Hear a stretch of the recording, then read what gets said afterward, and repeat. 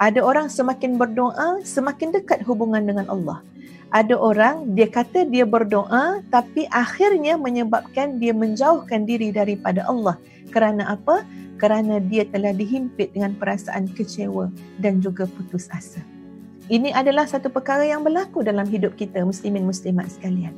Ya, ada orang kadang-kadang eh, Uzah cakap je lah ada orang tapi kadang-kadang orang tu sendiri adalah kita. Ya, kita manusia yang lemah ia tak lari daripada kesilapan. Ha, kita berdoa, berdoa, berdoa tapi kita rasa macam hmm, tak mustajab pun doa kita. Ya, kita minta anak yang soleh, kita minta anak hafaz Quran, kita minta anak baik akhlak, kita minta begitu begini tapi pandang kanan, pandang kiri, pandang depan, pandang anak atas bawah, atas bawah, kita rasa doa kita tidak mustajab lagi. Doa kita belum mustajab lagi. Kalaulah kita ada kesabaran tuan-puan sekalian, insya-Allah kita akan terus berdoa dengan penuh yakin kepada Allah.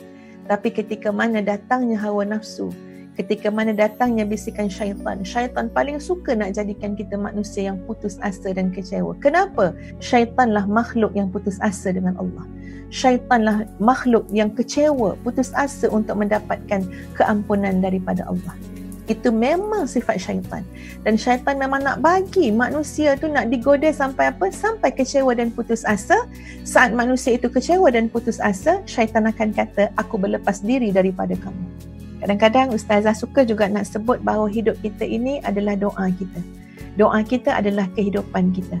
Ya, kalau kita rasa kita nak macam-macam kehebatan, macam-macam kebaikan tapi kita malas berdoa, seolah-olah demikianlah kita nak hidup yang biasa-biasa sahaja kita nak hidup yang ala kadar saja. Kita tak pernah bersungguh-sungguh pun dalam hidup kita. Di mana kita boleh melihat kesungguhan itu? Pada doa kita. Pada sikap kita saat berdoa. Bukan saya dilihat pada doa dari sudut perkataan yang kita ungkapkan, tapi dari sudut hati yang berdoa kepada Allah.